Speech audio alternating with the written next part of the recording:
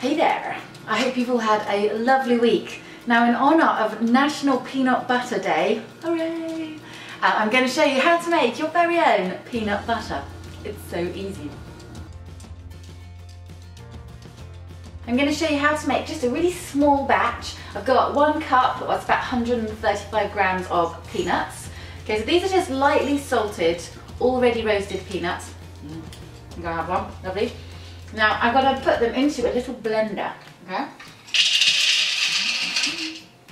Now you do need to have some kind of food processor to make this happen.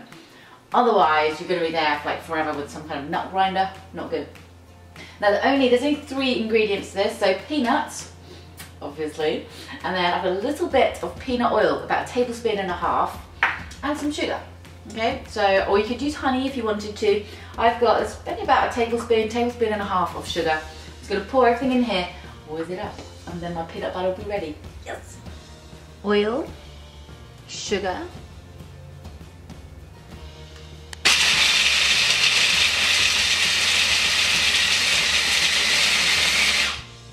You basically just keep grinding until you get a nice smooth paste.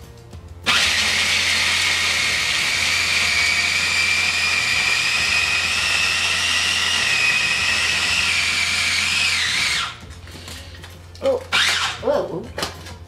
And there you go.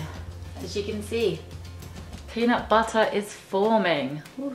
I'm gonna keep going just to make it a bit smoother. But again, if you like crunchy peanut butter, leave it like this. It's entirely up to your own preference. So there we go, homemade peanut butter literally takes two minutes to make your very own. Um, now do give it a bit of a taste.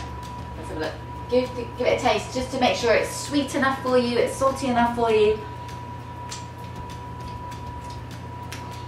Because I've been making mine for a while, mine's spot on because I know how I like it. Not too sweet, but still, you know, has to be a little bit sweet. Now, there we go, spread it on toast, do whatever you like with it. And this can actually be kept now in the fridge for, uh, you know, a good month. Just get a nice jar with the lid on it, keep it airtight. And if you are going to make a batch, then this only makes a little bit. This probably makes about maybe three quarters of a cup's worth. So you can just double up on the quantities and then you've got a whole batch done for the next month and a half or so. Yum. Mm -mm. So that, mm, my mouth's like stuck. That's breakfast done. In two minutes. Mmm. Mmm excuse me, it really stuck my mouth together. Mm. I hope you all really, really enjoy making your very own peanut butter. It's good for you, you know exactly what's going in it, and, um, it's really tasty. So you may not ever want to buy peanut butter again.